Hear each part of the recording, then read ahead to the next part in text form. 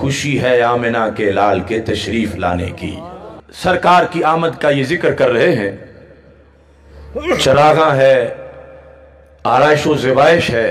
ऐसा हर काम जो नाजायज ना हो, शरीयत ने रोका उससे ना हो, वो शरीयत से टकरा ना रहा हो।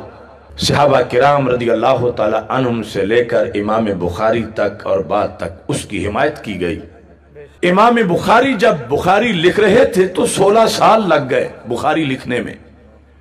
और ये हर फिरका, देवबंद हो या गैर मुकलद वहाबी हो, ख़त्म बुखारी के जलसों में ये बात इमाम बुखारी की फजीलत में बयान करते हैं कि इमाम बुखारी कहते हैं, मैंने बुखारी लिखने का तरीका ये बनाया था, मा वदा तो फ़ी किताबी सही हदीसन तसल तो कबल का वसल तो रकातैन। कि मैंने ये लाजिम कर लिया अपने ऊपर, कि मैं हर हदीस लिखने से पहले सिर्फ़ वज़ू ही नहीं करूँगा, मैं गुसल करूँगा। और गुसल करके दो रकत नमाज़ पढ़ूँगा, और फिर मैं हदीस लिखूँगा। ना ये कुरान में है, ना ये हदीस में है, ना ये खुलफा राशिदीन का फतवा है।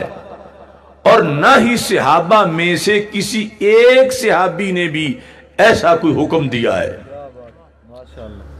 और जो बिदत की लेटेस्ट तारीफ़ है, इमाम बुखारी पर पूरी तरह फिट आ रही है कि काम दीन में हो, नया हो और सवाब समझ के किया जाए। जो आज कुछ लोगों का स्टाइल है मुसलमानों को मुशरक और बिदती करार देने का। उसके पेश नज़र तो इमाम बुखारी जैसा बड़े कद का मुसलमान भी बिदती होने से नहीं बचता। अब हमारी अरैशो जबाइश ये झंडियाँ ये तो मामूली काम है। हमने कोई नमाज़ तो नहीं ना घड़ी नमाज़ मिलाद। कि दो रकत नमाज़ महफिल मिलाद कोई ऐसा तस्वुर है? तो इमाम बुखारी तो दो रकत नमाज़ किताबत हदीस घर के पढ़ भी रहे हैं और सारे फिरके उन्हें खराज तहसीन पेश कर रहे हैं। कोई ऐसी आयत या हदीस नहीं या ईमान वालो, जब हदीस लिखने लगो तो गुसल कर लो और दो रकत नफल भी पढ़ो। ये कोई आयत नहीं, कोई हदीस नहीं। इमाम बुखारी दीन में पूरी नमाज़ घर गए और 16 साल उस पर अमल करते रहे। अब दो ही सूरतें या तो बिदती हैं या बिदती नहीं हैं। अगर बिदती हैं उनके बकौल तो वो कोई अपना और बुखारी ढूंढे। क्योंकि बिदती की हदीस तो हर फिरके के नज़दीक, यानी ये जिनसे हम कर रहे हैं बात, बिदती की हदीस मोतबर नहीं होती। इतना बड़ा जुर्म है बिदती होना।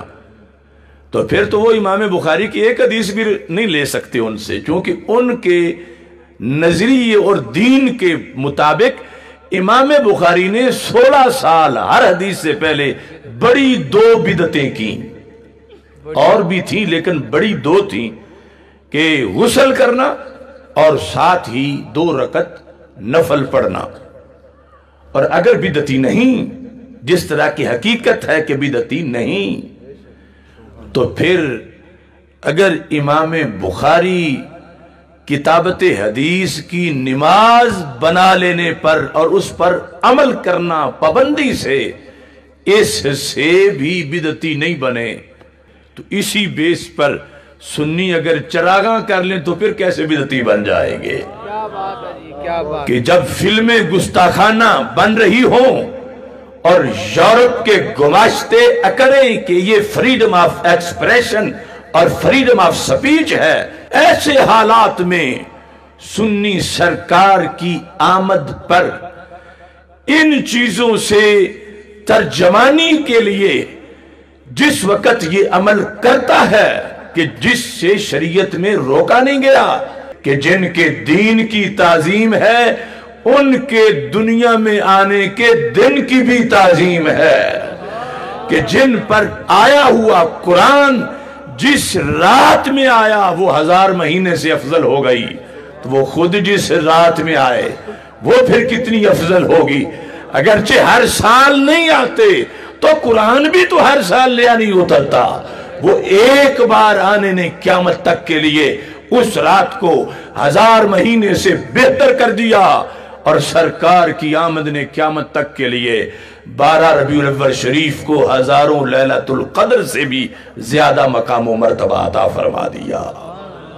कि तुम जिस वक्त मिलाद मनाते हो, दूसरा फिरका के जिनको ये तोफीक नहीं के मना सकें, बहाना ये कर रहे हैं कि तुम कोई हज़रत सिद्दीक अकबर रदी अल्लाह तला से बड़े आशे को उन्होंने क्या इस तरह झंडियाँ लगाई थी? फिर उनके अहद खिलाफत में इतनी बार मिलाद आया। हज़रत उमर रदी अल्लाह तला के जमाने में इतनी बार बारह रबी शरीफ आया। ये पूछा जाता है ना तुमसे? बेशक। तो मैं उनको समझाने के लिए काश कि तेरे दिल में उतर जाए मेरी बात। मैं पूछता हूँ क्या इमाम बुखारी हज़रत सिद्दीक अकबर रदी अल्लाह तला से बड़े आशिक हैं? तो ज़ाहिर है कि करोड़ों बुखारी भी हज़रत सिद्दीक अकबर के गर्दे राह तक भी नहीं पहुँच सकते। तो बड़े तो वो हैं तो फिर क्या उन्होंने हदीस लिखने से पहले गुसल करके दो रकत नफल पढ़ने का तरीका अपनाया था? नहीं अपनाया था। तो फिर इमाम बुखारी ने क्यों अपना दिया? यानी जो तुम पे एतराज़ कर रहे हैं, वो एतराज़ पंद्रहवीं सदी के सुन्नी पर नहीं, वो इमाम बुखारी पर है। तो मैं कहता हूँ, खुलफा राशिदीन ने भी हज़ारों बार हदीस लिखी, एक बार ही दिखा दो कि हदीस लिखने की कोई नमाज़ उन्होंने भी पढ़ी हो, कि बड़े आशिक वही थे। मगर ये जो कुछ कर रहे हैं, बड़ाई की वजह से नहीं कर रहे। ये अपनी महरूमी और कमी का कुछ बदल पूरा करना चाहते हैं।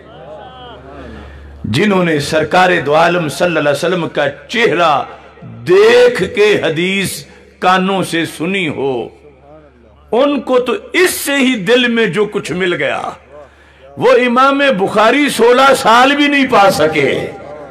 लेकिन उन्होंने कहा, जब वो वक्त नहीं मिला कि सरकार के सामने बैठ के सुनते तो कम अज कम वक्त तो आपके तस्वर में गुजरे। कम अज कम इसके लिए हम कोई एहतमाम तो करें। तो इसलिए इमाम बुखारी बड़ाई की वजह से नहीं कि पहले कुछ नहीं कर सके तो मैं बहुत कुछ करूँ।